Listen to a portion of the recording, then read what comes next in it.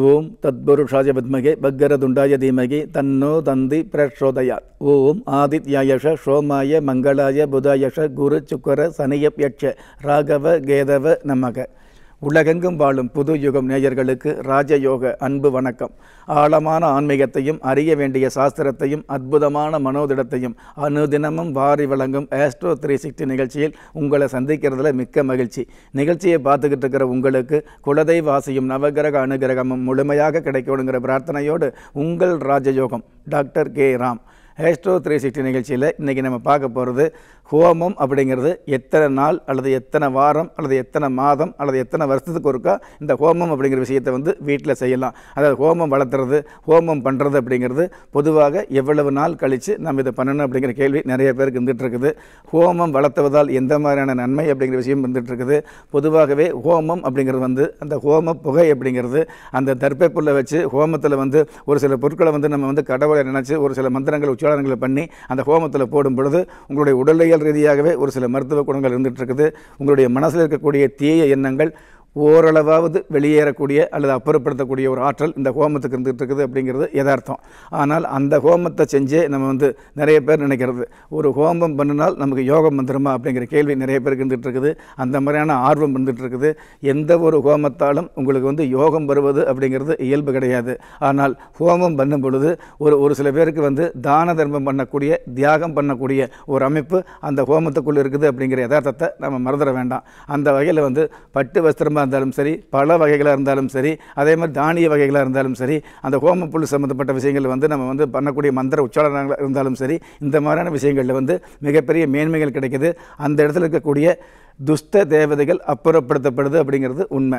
இது ஹோமம் வளர்த்தும் போது எந்த ஒரு வீடாக இருந்தாலும் சரி எந்த ஒரு தொழில் ஸ்தாபனமாக இருந்தாலும் சரி அந்த இடத்துல ஹோமம் அப்படிங்கிற ஒரு விஷயத்தை வந்து நம்ம பண்ணும் பொழுது அந்த இடத்துல இருக்கக்கூடிய துஷ்ட தேவதைகள் அல்லது தேவையில்லாத பீடைகள் தானாக விலகக்கூடிய அல்லது அப்புறப்படுத்தக்கூடிய ஒரு மாபெரும் ஆற்றல் அந்த இடத்துல கிடைக்குது அப்படிங்கிறது தான் அனுபவபூர்வமான யதார்த்தமான உண்மையாக இருந்துகிட்டு இருக்கு. சார் ஒருவருக்கு வந்து வசதி இருக்குது ஹோமம் பண்ணுறோம் வசதி இல்லாதவங்க ஹோமம் பண்ண முடியாதவங்க என்ன பண்ணலாம்னு கேட்டிங்கன்னா உங்களுடைய வீட்டில் அனுதினமும் காலை அல்லது மாலை நேரத்தில் அகல் விளக்கு ஏற்றுறீங்க இல்லையா? அதுலேயே உங்களுக்கு கோமம் பண்ணக்கூடிய அளவுக்கு அதாவது தொடர்ந்து பண்ண பண்ண தொடர்ந்து அகல் விளக்கு ஏற்ற ஏற்ற உங்களுக்கு கோமம் பண்ணக்கூடிய ஒரு வீரியம் அந்த கோமத்தால் கிடைக்கக்கூடிய நன்மைகள் ஓரளவு கிடைக்குது அப்படிங்கிறது தான் உண்மையான விஷயம். இதில் முக்கியமான ஒன்று அதாவது எந்த ஒரு பூஜை அறையாக இருந்தாலும் அந்த பூஜை அறையில் வந்து அகல் விளக்கு ஏற்றும் போது அந்த இடத்துல ஒரு கைப்பிடி தர்ப்பப்புல் இருக்கிறது சிறப்பு. அதே மாதிரி எந்த ஒரு வீடாக இருந்தாலும் அந்த வீட்டில் வந்து காலை அல்லது மாலை நேரத்தில் வந்து இந்த அகல் விளக்கு ஏற்றுறது மிகப்பெரிய அற்புதமாக இருந்துகிட்ருக்கும் காலையில் பிரம்ம முகூர்த்தமோ அல்லது ஆறு மணிலேருந்து ஏழு மணிக்குள்ளாகவோ. அதே மாதிரி மாலை நேரத்தில் அந்தி பொழுதில் ஈசன் படி இழுக்கக்கூடிய அந்த நேரத்தில் வந்து ஆறு மணிலிருந்து ஏழு மணிக்குள்ளாக விளக்கேற்றுவது மிக மிக சிறப்பாக இருந்துகிட்ருக்கும் இந்த மாதிரி விளக்கேற்றக்கூடிய அந்த காலங்களில் மாலை நேரத்தில் காலை நேரத்தில் அகல் விளக்கு ஏற்றுறீங்க பிரார்த்தனை வச்சுக்கிறீங்க.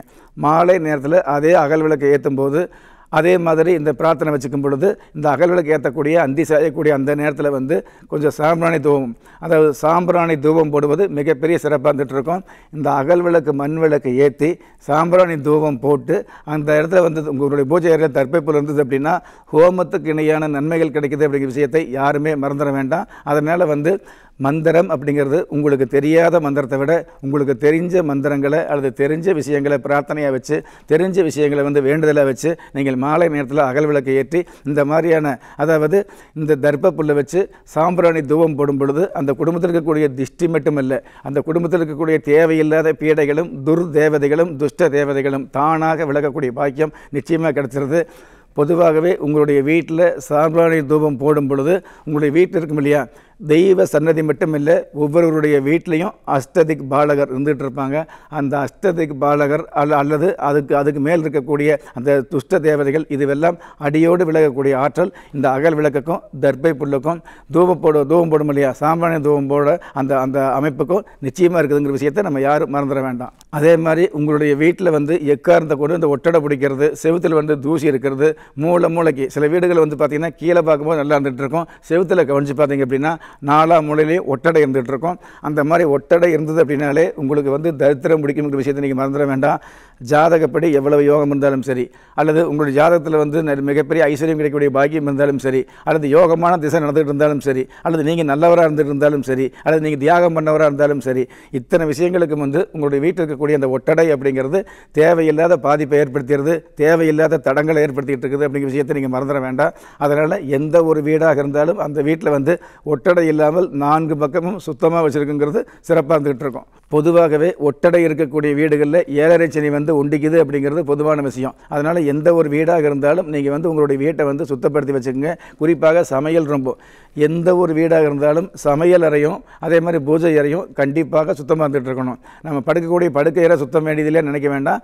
அதாவது பொதுவாக வீடு முழுவதுமே சுத்தமாக இருந்துகிட்டு இருக்கணும். இதில் வந்து சமையல் அறையும் பூஜை அறையும் கொஞ்சம் அளவுக்கு மீறி கண்காணித்து கொஞ்சம் ரிஸ்க் எடுத்து அந்த பகுதியை வந்து நீங்கள் சுத்தமாக வச்சுக்கிறது சிறப்பாக இருந்துகிட்டு இருக்கும் நிறைய பேர் வீட்டுக்குள்ளே வந்து செப்பல் போடக்கூடிய ஒரு பழக்கத்தை வச்சுட்டு இருக்கிறோம் அந்த செப்பல் வந்து கண்டிப்பாக அதாவது வீட்டுக்குள்ளே மட்டும் பயன்படுத்தக்கூடிய அமைப்பாக இருந்துட்டு இருக்கிறது நல்லதாக இருந்துகிட்டு இருக்கும் அதை வெளியிலையும் பயன்படுத்தி வாசல்லையும் பயன்படுத்திக்கிட்டு அதுக்கப்புறம் வீட்டிலேருந்து மொட்டை மாடிக்கு போகிறோம் அல்லது கீழே வர்றோம் அப்படிங்கிற மாதிரி பயன்படுத்திட்டு அதுக்கப்புறம் வீட்டுக்குள்ளே பயன்படுத்துவது தேவையில்லாத தரித்திரத்தை அதாவது தரித்திர யோகத்தை கொடுக்குங்கிற விஷயத்தை நீங்கள் மறந்துட வேண்டாம். அதே மாதிரி வீட்டில் வந்து ஹோமம் பண்ண முடிய அளவுக்கு வசதி வாய்ப்பு இல்லை வந்தால் கூட ஒரு சில தெய்வ சன்னதியில் ஹோமம் பண்ணுவாங்க இல்லையா?